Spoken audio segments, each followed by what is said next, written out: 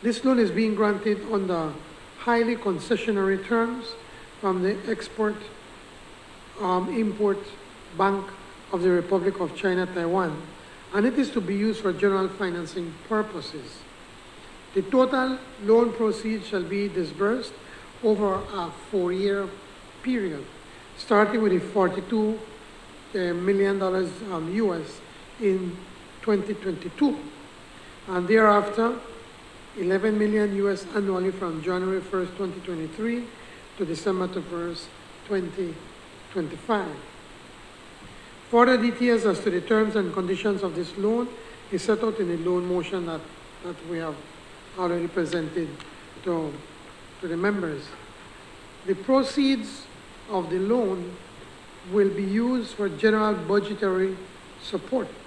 As I had presented in, um, as I had stated in my presentation of the budget earlier this year. So we've already said that this loan was coming. It's not nothing new, but we couldn't present the loan motion then because we were still working out the, the legal um, um, documents. So this loan, this um, $42 million is the first disbursement of the $75 million total that, um, that Taiwan has agreed to lend Belize for budgetary support.